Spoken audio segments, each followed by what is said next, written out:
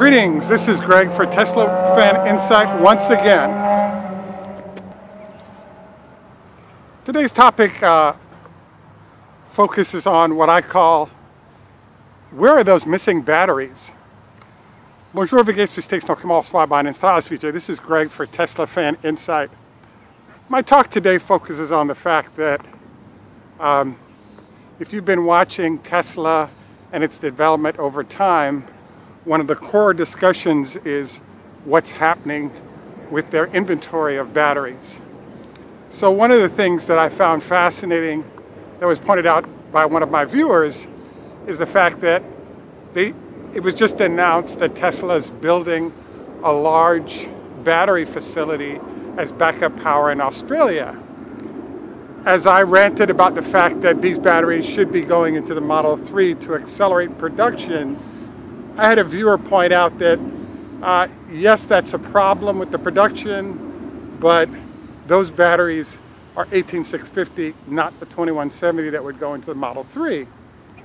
So I started doing some digging, and it turns out that Panasonic has been increasing the capacity of 18650 uh, batteries in Japan, and they just built a Chinese facility as well.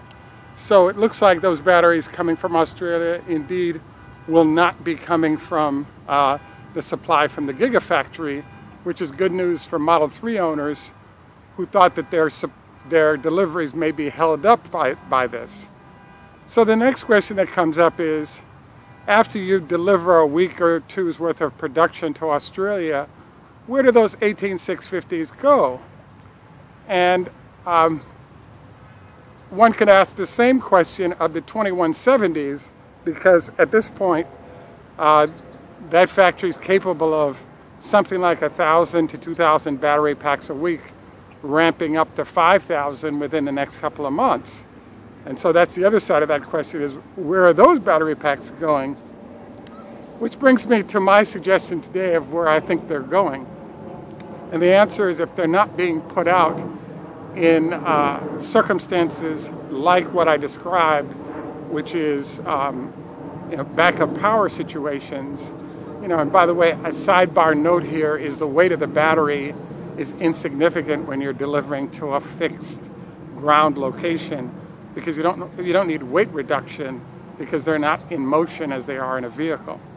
So my answer to this is light duty trucks for the 18650 and um, test quantities for customers of the semi truck for the 2170s that are being produced.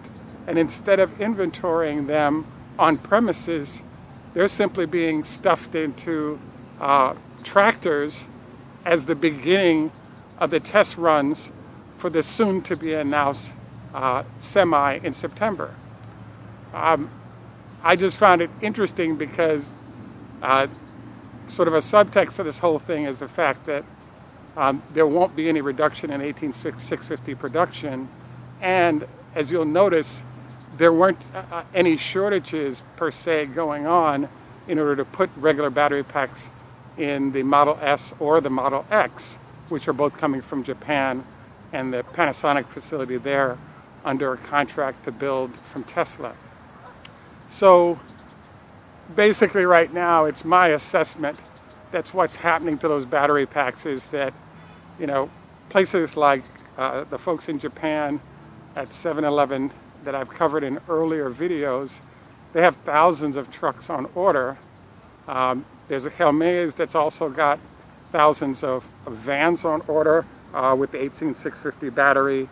That battery is ideal for 100 mile or below short distance deliveries with supercharger if there's any emergency.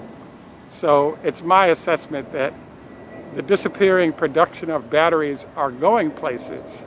Now, the implications of this are number one, as promised, Mercedes said they were going to start delivering in quantity at the beginning of 2018 their solutions for the light duty vans and light duty trucks.